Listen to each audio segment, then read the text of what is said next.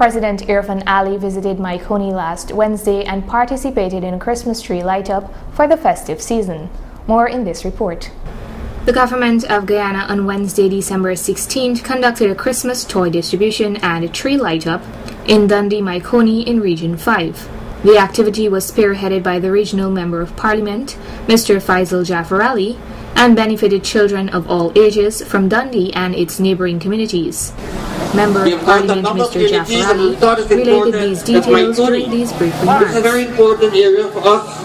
Mahaicony, Calcutta, Area, Dundee, Novar, all those areas are very important to us. And you, the children, are very important. And despite the pandemic, we thought if we, if we follow all the protocols, we'll be able to quickly have this activity.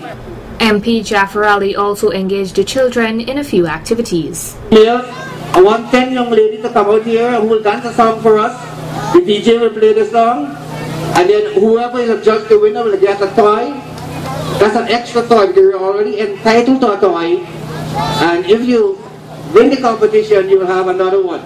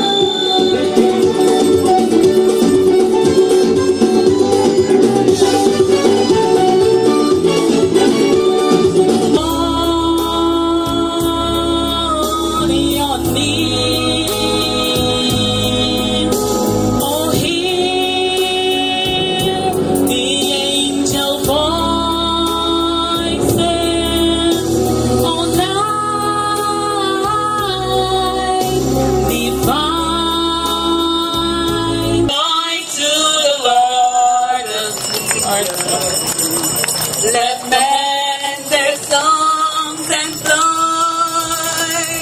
but fields and floods, rock hills and repeat the song with joy.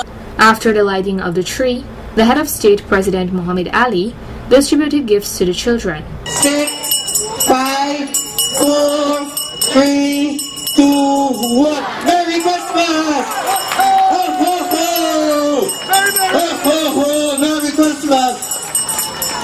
All right. Narima Ali, Channel 8 News.